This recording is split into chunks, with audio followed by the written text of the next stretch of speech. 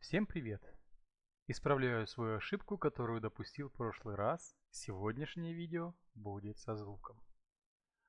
Итак, у нас есть вот такая картинка. Наша задача сделать обложки для вот этих трех книжек. В данном случае пусть будет одна и та же. И сделать внутренние странички вот сюда. Используем подготовленный файл. Вот этот. Тоже его заранее подготовил. Теперь будем использовать. Как я уже говорил в прошлый раз, я думаю большинство запомнили, мы нажимаем кнопочку U. Либо переходим вот сюда в инструмент прямоугольник. Рисуем прямоугольник, желательно приблизительно, приблизительно такого же размера, точнее соотношение сторон, как ваша страничка. Хотя в принципе это совершенно несущественно. Даже я сейчас вам покажу. Сделаем ее вот такой, узкой. Страничка навряд ли такой будет. Что мы делаем дальше? Обязательно переходим в слои, выбираем прямоугольник, нажимаем правую кнопочку мыши и нажимаем «Преобразовать смарт-объект». Без этого у нас ничего не сработает. Мы преобразовали в смарт-объект. Можно заменить этот цвет и накладывать уже этот цвет на книжку. Так будет, возможно, для кого-то наглядней. Но сегодня и в этом уроке я покажу немножко другой подход. Я беру нашу обложку, вырезаю ее приблизительно, ну в данном случае приблизительно, чтобы сильно не напрягаться. Вот я ее вырезал.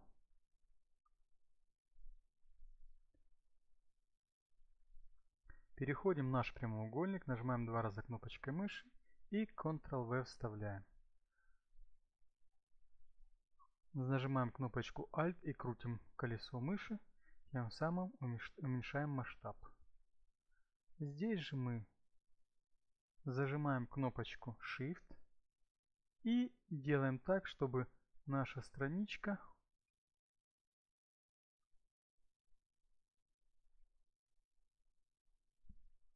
приобрела нужный размер. Но я немного ошибся. Я здесь слои не свел.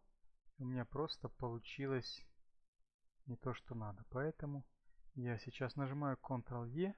У меня все слои преобразовались в один. Вот только теперь я вырезаю нужную нам обложку. Выделяю Ctrl-X. И вставляю в этот прямоугольник. Все точно так же. Можно удалить предварительно, хотя это не обязательно. Нажимаю Ctrl-V. Ctrl-T. Меняю с нажатым шрифтом подгоняю. Да, здесь оно не особо наглядно, но именно в данном случае я продемонстрирую, как э, размер не особо влияет. Хотя для наглядности лучше, конечно, делать более правильной формы. Далее нажимаем Ctrl-S, применить. Все сохранилось. Можно либо здесь нажать кнопочку закрыть, и она закроется. Этот, ну, вдруг нам надо еще что-то редактировать. Вот она уже у нас здесь, эта страничка. Далее мы берем и подгоняем ее под наши углы. Не совсем так. Сначала сделаю несколько копий. Три копии сделал. Отключаем первую, вторую, третью. Самая нижняя у нас будет, это самая нижняя книжка из вот этих трех. Подгоняю. Подгоняю под этот угол приблизительно додумываясь, как в данном случае должна выглядеть книжка. Ну, например, вот так. Здесь опять с кнопочкой Alt увеличиваю и подгоняю под правильный размер. Надо, чтобы нижняя книжка, которая белого цвета, была полностью перекрыта этой картинкой. Все, нажимаю Enter. Первая обложка готова. Кстати, видно здесь, что я не совсем правильно вырезал. и такой темный ободок здесь. Но, возможно, даже и лучше. Мы посмотрим, как это будет в будущем смотреться. Опять возвращаемся к этому слою. Прямоугольник 1. Назовем его книга 1. Переходим сюда. Нажимаем на слой маску. Слой маска у нас готова. Теперь мы переходим в инструмент лассо, это кнопочка L. Либо выбираем из списка прямоугольное лассо, либо нажимаем кнопочку Alt и несколько раз клацаем на иконку. Выбрали инструмент лассо. Что мы делаем дальше? Мы вырезаем вот эту книжку, но мы-то ее вырезать не можем, правильно? Значит, что нам не хватает? Нам не хватает уменьшить, точнее, взять прозрачность книжки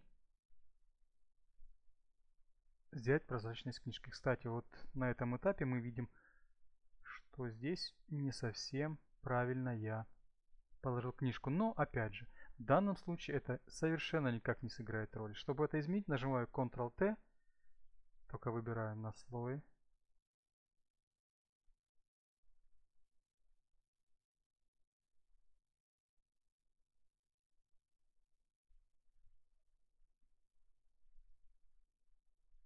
Да. Нельзя было выбирать, когда маска.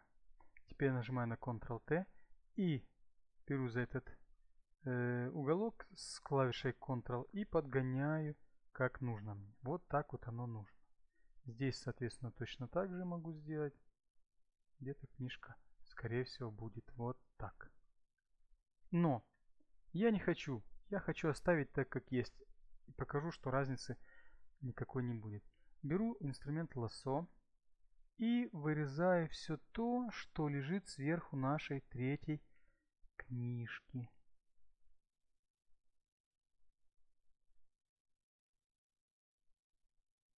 Вот, вырезал. И, да. Теперь я, так как я ошибся, я не включил сначала эту э, слой маску, сейчас нам придется немножко извратиться. Если сейчас я ее включу, то у меня пропадет то, что наоборот нужно оставить. Поэтому я Ctrl-Z нажимаю и перехожу в пункт выделения и нажимаю инвертировать. Инверсия. И теперь точно так же добавляю слой маску. Все, у нас ненужные, ненужное спряталось. Здесь непрозрачность повышаем до 34. Ой, с 34 до 100 и все, наша третья книжечка отлично вписалась в интерьер. Точно так же проделываем со второй книжкой. Выбираем нужный слой, очень важно. Нажимаем кнопочку Ctrl-T и подгоняем уголки.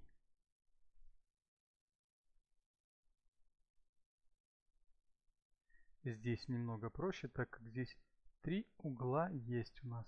Вот так будет выглядеть книжка. Приблизительно. Да, если сомневаюсь, делаю непрозрачность и смотрю вот здесь. Подгоняю правильно. Здесь точно так же подгоняю. Лучше чуть-чуть больше взять, чем будет выглядывать белое, как вот здесь. Но в данном случае здесь белое Выглядывает, как будто немножко торчат листики. Не может не совсем правильно, но тем не менее оно не будет мешать. Так, здесь мы тоже все правильно. Нажимаем кнопочку Enter. Отлично. Опять переходим к инструменту лосо, который у нас включен. Но перед этим мы переходим в э, слой маску. Добавляем к этому слою слой маску. И точно так же выделяем книжку, которая не относится к нашей второй книжечке. Так, так, а здесь нам уже не важно совершенно. Так, все. Нажимаем кнопочку Delete, удалили. Возвращаемся в этот слой и непрозрачность ставим на 100%. Все, вторая книжка у нас точно так же готова. Переходим к третьему, третьей книжке и поступаем аналогичным образом.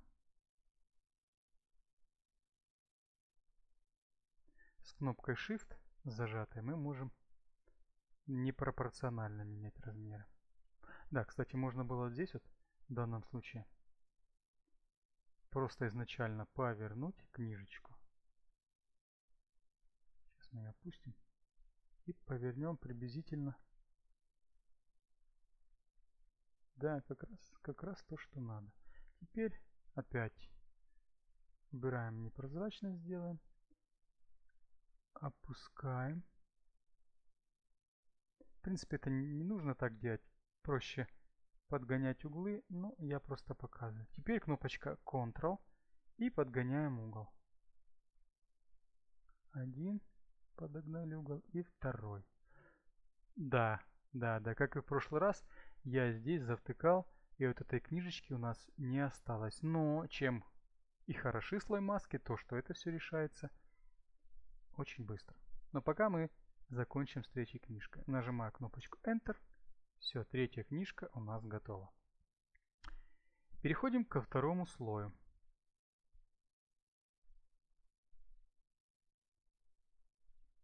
Переходим в слой маску и нажимаем кнопочку E и кнопочку X. И удаляем. Либо можно просто прямоугольник M кнопочка и вырезаем. Здесь вообще несущественно, потому что оно спрятано. Все, наши три книжечки готовы. Э, лучше было бы, если три книжки были разные. Оно очень классно и эффектно бы смотрелось. Я в своих раскрасках, когда только начинал делать, делал такой трюк, и каждая книжка отличается от предыдущей смотрится замечательно. Так, с этим мы разобрались. Теперь идем к внутренним страничкам. Точно так же кнопочка U, инструмент, прямоугольник, и рисуем приблизительно нашу страничку. В данном случае она у нас черная, но цвет можно поменять на любой, который больше нравится или удобен в данном случае. Мы сейчас будем делать с красным цветом, только для того, чтобы можно было посмотреть второй вариант того, как можно все это разместить. Опять, наш прямоугольник мы переименуем, кстати, да, этот слой, допустим, э, страница А. Отлично. И делаем Smart объект. Нажимаем Ctrl-T. Сначала непрозрачность сделаем. И подгоняем под нашу страничку. Вот наш один уголок. Вот второй уголок. Вот третий уголок. И вот четвертый уголок. Да. Теперь либо нажимаем Enter, а потом Ctrl-T, либо сразу же переходим э, наверх и переключаемся Э, в режим деформации. Берем за вот эти рычажки и тянем вверх. Тянем, тянем, тянем, тянем.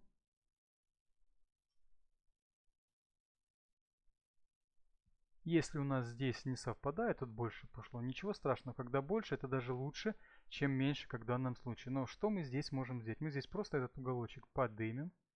Все. А здесь опустим, если мы уже Следуем такому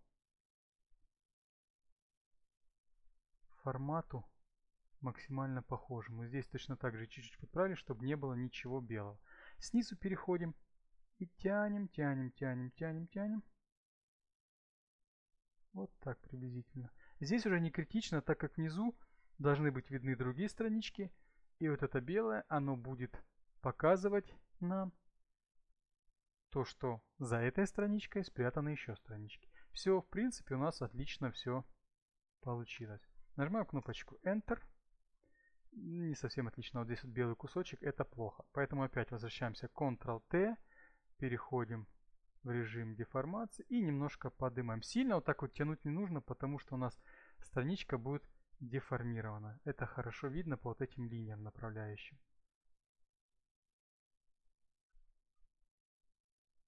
Все, применили. Замечательно.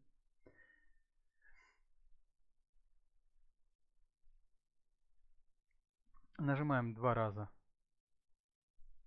на страничку и попадаем э, сюда, куда мы должны будем сейчас вставить наш текст. Текст точно так же берем из файла. Вот я беру текст, перетаскиваю его, размещаю. В некоторых моментах или в некоторых случаях нужно учитывать, что вот здесь вот сильно много места может быть в наших картинках, которые мы делаем для странички, потому, потому что там рабочая область, все, поэтому мы немножко вот так вот можем сдвинуть. Это я показываю, но это не обязательно делать, оно и так будет хорошо видно. Нажимаю на Enter, нажимаю Ctrl-S, либо просто сразу закрываю, так как нам эта страничка уже не нужна. Нет, я сейчас оставлю ее, покажу, для чего мы ее можем оставить. Вот у нас уже наша картиночка здесь есть. Но да, качество картинки я загрузил не очень хорошее, поэтому поэтому вот так вот. Не продумал. Ну, я к чему говорю, что мы оставим эту страничку, например, хотим здесь что-то нарисовать. Например, создаем новый слой и там нарисовали. Нажимаем Ctrl-S, сохраняем.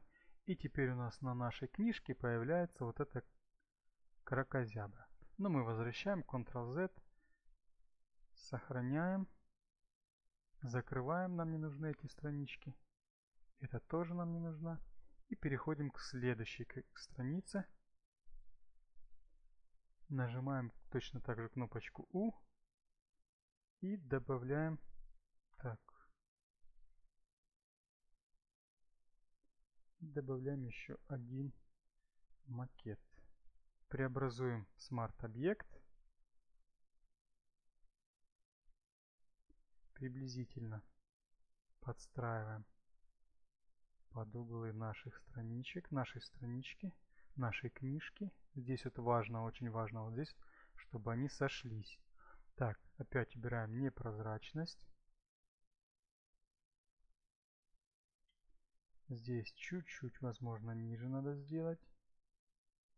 Желательно, чтобы странички сошлись, но опять, здесь не нужно качество такое, как в полиграфии.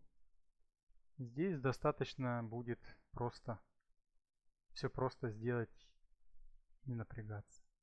Переходим в трансформирование и опять, как и в прошлый раз, немножко меняем. Здесь можно, кстати, чтобы остался уголок, это будет нам показывать, как будто те, те странички, которые под, под этой страницей находятся, они отображаются. Аналогичным образом здесь. Сильно не тянем в эту сторону, потому что некрасиво получается. Вот так вот. Здесь можно вот так вот больше сделать. Нажимаем кнопочку Enter. Переходим в слой.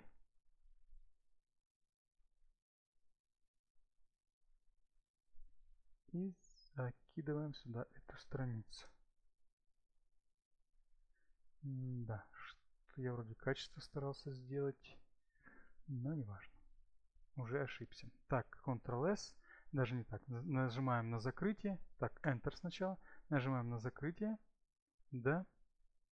Все, теперь и вторая страничка у нас точно так же готова. В прошлый раз я показывал, как нам сделать тень. Точно так же сейчас мы сделаем.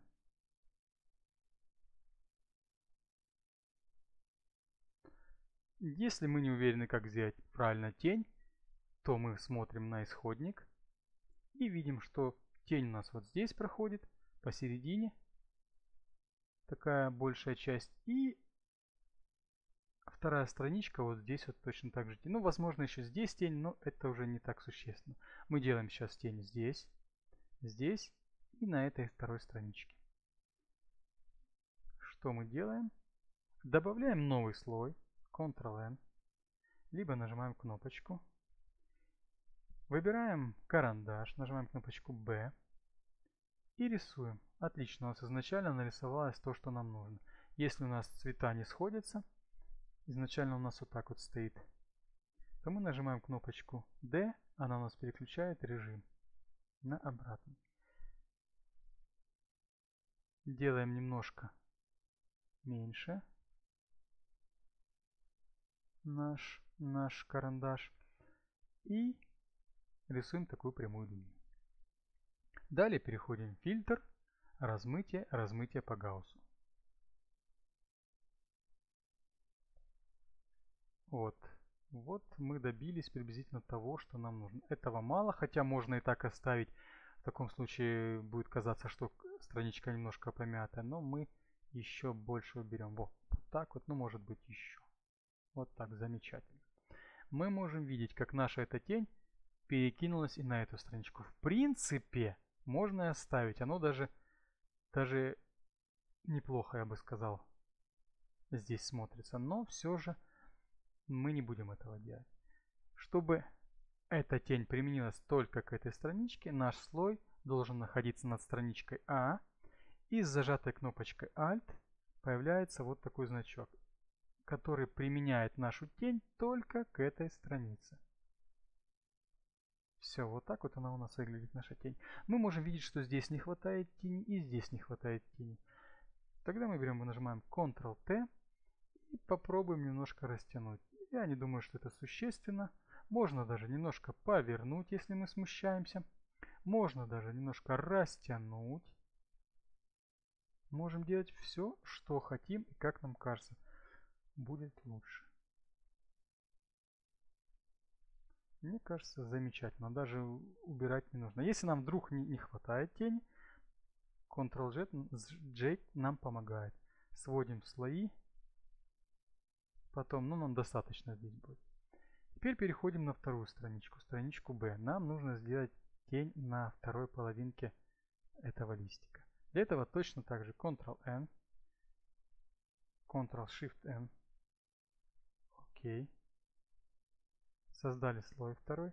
На этом втором слое мы точно так же карандашом B рисуем прямую линию. Можно не одну, можно парочку, можно три. Так как они у нас короткие, я в прошлый раз ошибся, лучше сделаем длиннее. Немножко меняем угол. Переходим в фильтры, размытие, размытие по Гауссу. Вот, отлично, я бы даже сказал. Мы потом все, что лишнее, уменьшим непрозрачностью. Замечательно. Точно так же этот слой Переменяем к странице B. Нажимаю кнопочку Alt и подводим к странице B к слою. Все. Теперь мы видим, что тени здесь слишком много. Мы работаем с непрозрачностью. Вот, мне кажется замечательно. Если хотим, можем подвинуть немножко сторону. Вот так даже, наверное, будет еще лучше. Все, замечательно. Теперь, как и в прошлый раз, мне сделали замечание хорошее, то что у нас не хватает еще тени вот здесь посередине. В данном случае что мы делаем? Создаем новый слой. Ctrl-Shift-N. Выпадает такое меню, нажимаем ОК. Точно так же в этом слое рисуем нашу тень. Переходим в фильтр, размытие размытие по Гауссу. В данном случае нам тень нужна более выраженная.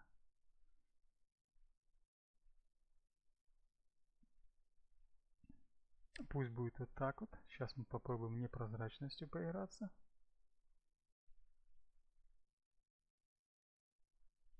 И немножко растянем.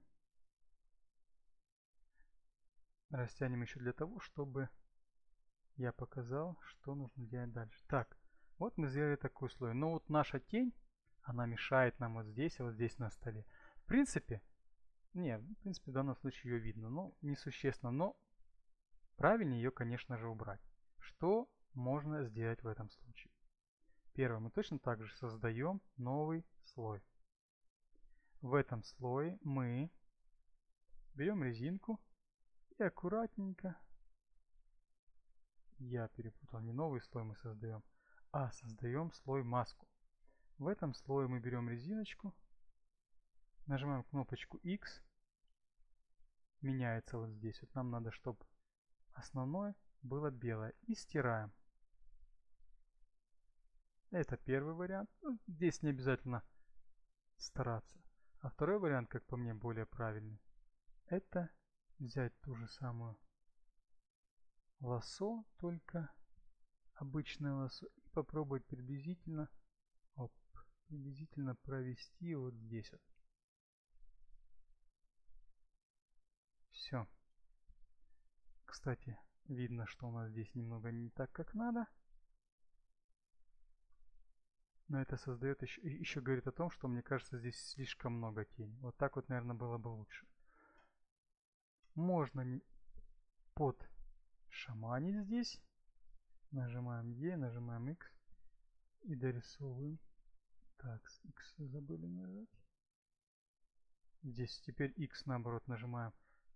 Один и тот же инструмент, если здесь белый и черный цвет, он превращается как в резинку, так и в дорисовывалку.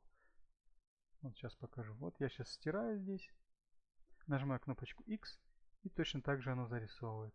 Нажимаю еще раз X, оно стирает. Но это при условии, что здесь у нас белый и черный цвет. Здесь могу выделить, нажать кнопочку Delete. И все у нас зарисовало. Переходим вниз. Здесь у нас точно так же тень.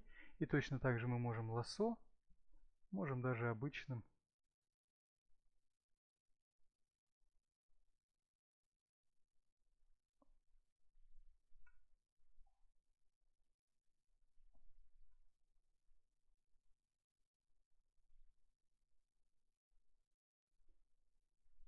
Не удаляю, а потому, что я не выбрал.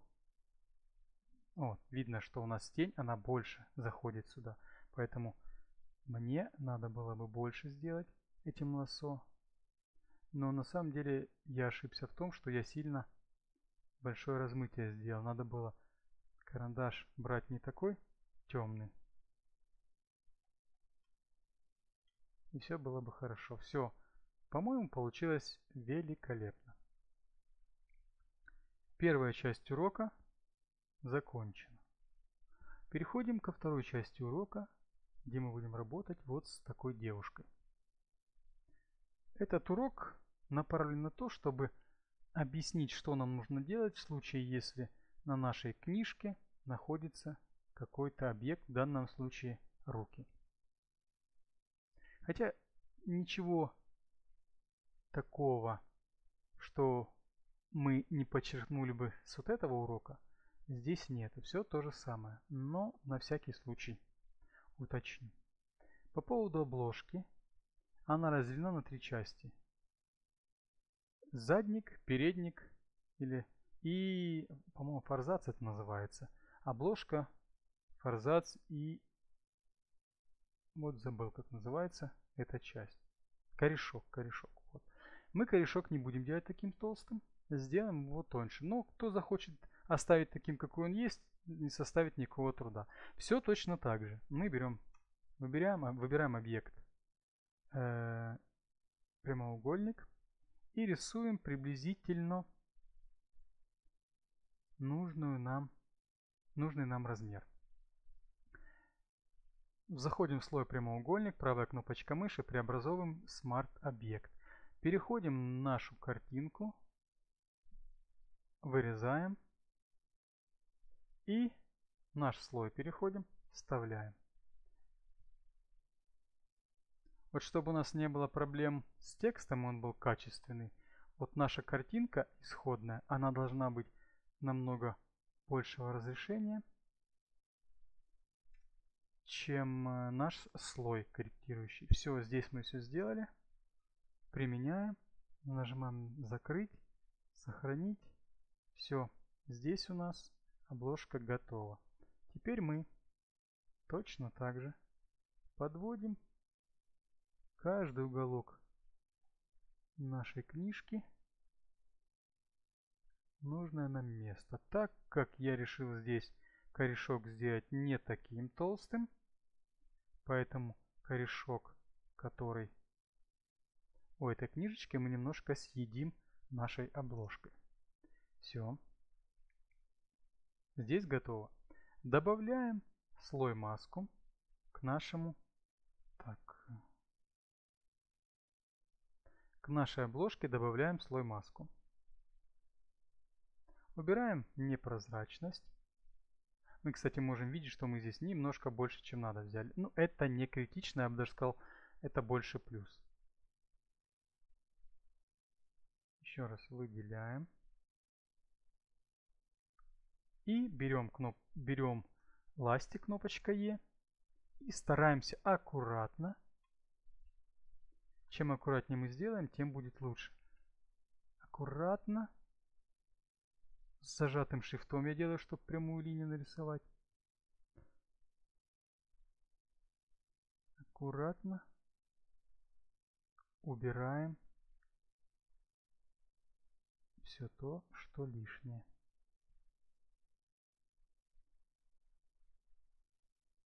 Я не буду сильно стараться, как и в прошлый раз.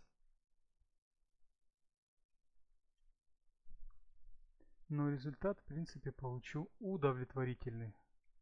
Для книжек, для контента А будет все замечательно.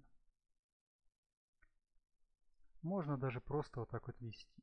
Если вдруг кто-то ошибся, вот так вот сделал, ничего страшного нет. Есть кнопочка Ctrl-Z, которая все возвращает два раза. Либо, если мы так сделали, мы просто нажимаем кнопочку X в режиме ластика и точно так же все это зарисовываем. Скажем так, если я ошибся, немножко вот тут больше, чем надо вырезал, вот так вот будет, да, допустим.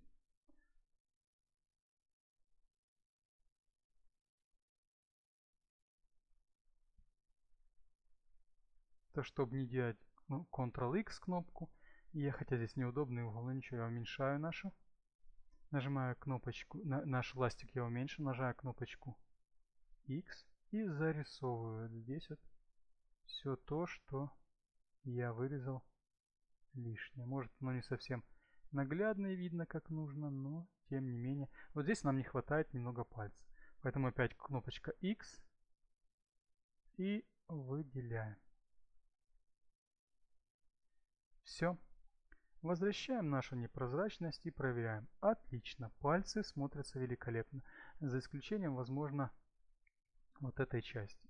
Как мы ее можем поправить? Переходим в этот слой, нажимаем кнопочку B, точнее E. Это резинка, можно и B, в принципе, не важно. И пытаемся зарисовать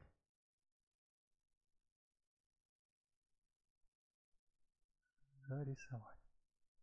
Если нам чего-то, вот здесь вот, если нам чего-то не хватает, Нажимаем опять кнопочку X. И, например, здесь нам не хватает. И подравниваем. Кстати, я сейчас как-то неаккуратно нарисовал. Обвел. Но, тем не менее, этого будет вполне достаточно. Так, обложка у нас сделана. Переходим ко второй части. Не то немножко нажал. Кнопочка U. Делаем заднюю часть книжки. Вот чуть не забыл то, что нам нужно преобразовать смарт-объект.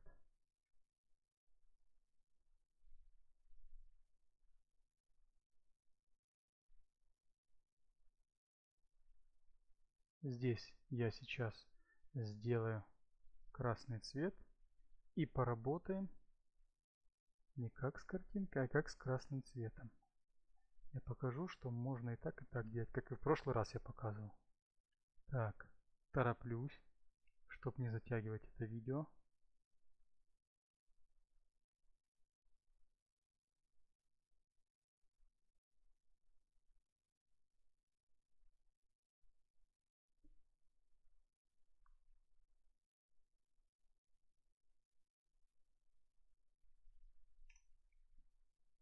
Замечательно. Здесь мы делаем еще менее прозрачное. Добавляем корректирующий слой маску. Выбираем резинку, кнопочка Е. И начинаем стирать все лишнее. Мне не понравилось, я нажал Ctrl-Z и отменю. Я подгоняю здесь размер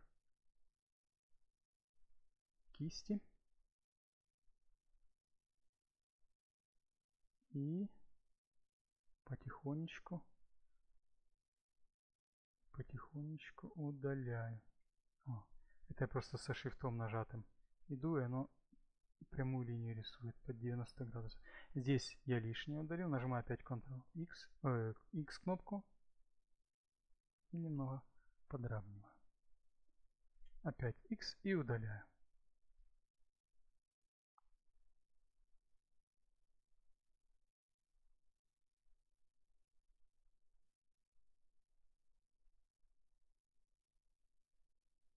От того, насколько аккуратно будет все здесь сделано, будет зависеть конечный результат. И если компьютер мощный, то лучше взять исходную картинку с этой девушкой в большем разрешении, максимально большом. Тогда рисовать, тогда стирать будет легче, не будет вот таких вот пикселей. Картинка будет более плавной. Так, здесь подравниваю, потому что с тенями потом будет не очень хорошо. Здесь лишнее немного взял.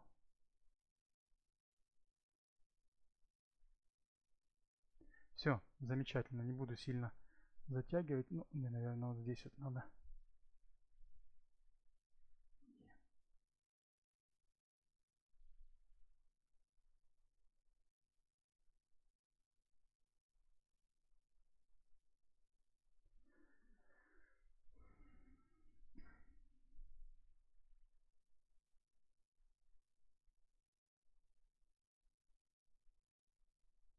Все, не буду. Перехожу в этот слой. Перехожу к задней части нашей книжки. Аккуратно вырезаю. Ctrl-X. Перехожу в этот прямоугольник. Вставляю Ctrl-V. Изменяю размер. Ctrl-T. Со шрифтом, со шрифтом и с углом подвожу все, чтобы соответствовало каждая сторона оно примагничивается. И закрываю, нажимаю Enter и закрываю ненужную нам вкладку. Так, это тоже уже закрываем. Все. Страничка у нас, задник у нас готов. Убираем нашу непрозрачность. Что нам не хватает? Нам не хватает вот эту среднюю часть сделать. Точно так же я рисую прямоугольник кнопочкой U.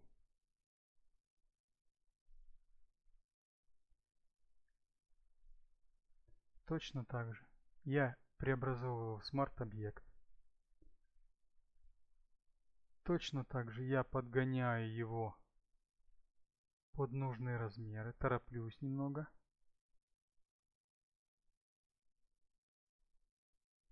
Здесь важно смотреть, чтобы оно было приблизительно одинаково и, возможно, даже немножко выглядывало. Так, сейчас посмотрим. Это, наверное, сильно выглядывает.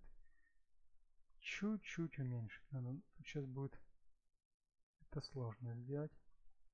Поэтому уменьшаю. Так. Здесь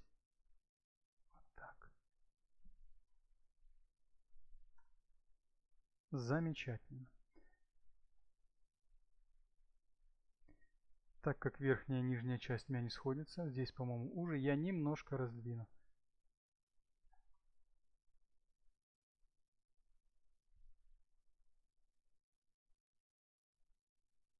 И подниму вверх. И здесь точно так же. Немножко. Вот так, наверное. Все, сильно не буду заморачиваться. Переходим в этот прямоугольник и вставляем ту нашу наш задник. И смотрим, какая из этих частей может подойти хорошо. Здесь уже мы будем делать немножко не так, как в прошлый раз. Мы выбираем отсюда. Сейчас покажу, что мы выберем. Мы выбираем часть, которая без текста. Возможно, вот так вот будет хорошо смотреться. Поэтому сейчас мы нажимаем Ctrl-S, сохранили и переходим в нашу книжку. Вот, сохранили. Нет, смотрится не очень. Поэтому мы просто возьмем какой-то цвет, например, вот такой. Вот он у нас. Скопировали его. Можно и отсюда было взять, неважно. И зарисовываем. Точно так же нажимаем Ctrl-S, сохраняем, переходим в слой. Ну, в принципе, уже отлично. Если задник для книжки есть, то можно его точно таким же образом вставить. Не задник, а корешок для книжки есть, то можно его точно таким же образом вставить. Да, что мы еще не здесь не сделали? Мы еще здесь не сделали тень. От пальца, потому что оно не сильно хорошо смотрится. Возвращаемся к обложке. Вот наша обложка, вот наша тень. Добавляем новый слой, вот нажимаем на плюсик, либо Ctrl-Shift-N. Берем наш карандаш, уменьшаем размер и пытаемся нарисовать всю тень, которая здесь есть. Но в данном случае у нас синий цвет. Чтобы сбросить синий цвет или какой-либой, здесь я повыбирал один цвет, например. Здесь второй цвет. Чтобы его сбросить, нажимаем кнопочку X. D точнее. X у нас меняет. Теперь зарисовываем.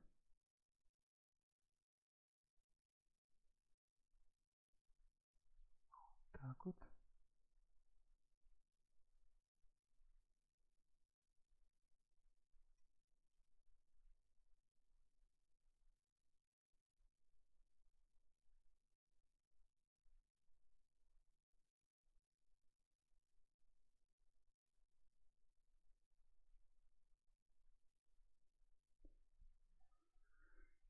Ну что, получилось ужасно. Но это на первый взгляд. Заходим в наши фильтры, размытие по Гауссу и делаем размытие на глаз. Включаем наш слой, обложку, применяем наше размытие только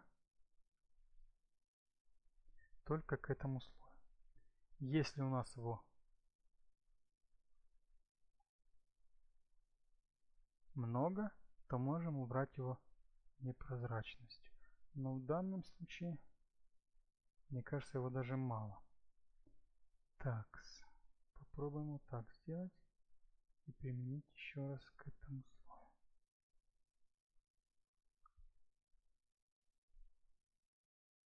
Объединим стало больше. Ну, тут надо поиграть, я просто показываю общий смысл. В принципе, тень появилась, уже стало лучше. Не идеально, конечно, но стало лучше. Точно так же делаем с задником, со второй рукой. Для этого отключаем сначала сам фон. Создаем новый слой. Берем карандаш. Можно, кстати, взять э, кисточку Идеально это вообще с планшетом, когда плавно все рисуется. Обводим нашу тень. Даже если залезем, ничего страшного.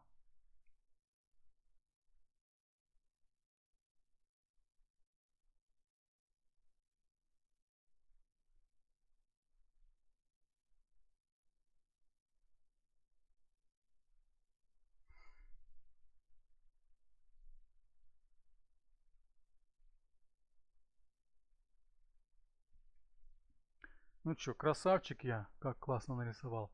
Переходим в размытие. Размытие по Гауссу. Ужас.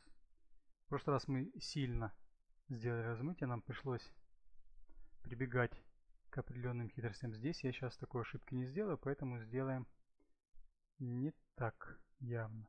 Опять же, этот слой применяем только к нашей второй руке и смотрим. Да, тень есть. Возможно, Не совсем правильно мы сделали его. Надо было больше постараться и тоньше нарисовать. Но смысл понятен. И в принципе все отлично. Все, всем спасибо, надеюсь, запись моя сработала. Покедова.